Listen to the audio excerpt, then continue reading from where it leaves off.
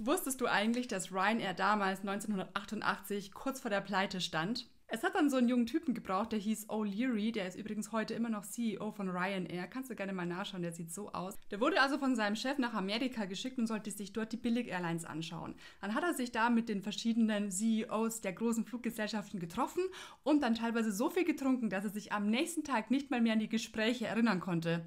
Nichtsdestotrotz kam er mit ein paar spitzfinderischen Ideen zurück, unter anderem zu meinem heutigen Leidwesen immer noch. Die hatten dann übrigens beide auch den Deal, dass sollte Ryanair jemals Gewinn bringen, und ich glaube, wir wissen alle, dass Ryanair doch nicht so ein Flop war, dann bekommt er ab sofort 30% des Gewinns. Also ich glaube, O'Leary ist eine ziemlich gute Partie heute. Was hat er gemacht?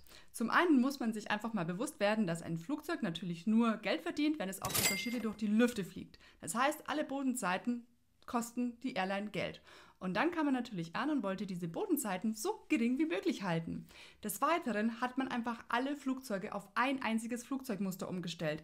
Ist klar, weniger Schulungskosten, weniger Technikkosten. Ihr müsst euch das mal vorstellen, die ganzen Bodenprozesse, die dauern bei Ryanair etwa 30 Minuten. Und dabei ist auch das Aus- und Einsteigen von den Gästen mit inbegriffen. Das Saubermachen, das Tanken, das Flugzeug außen ähm, besichtigen, ob da alles in Ordnung ist und so weiter. Das ist echt knapp. Bei mir sind es immerhin 40 Minuten, also wir haben 10 Minuten länger als Ryanair und ich finde es teilweise schon auch sehr sportlich.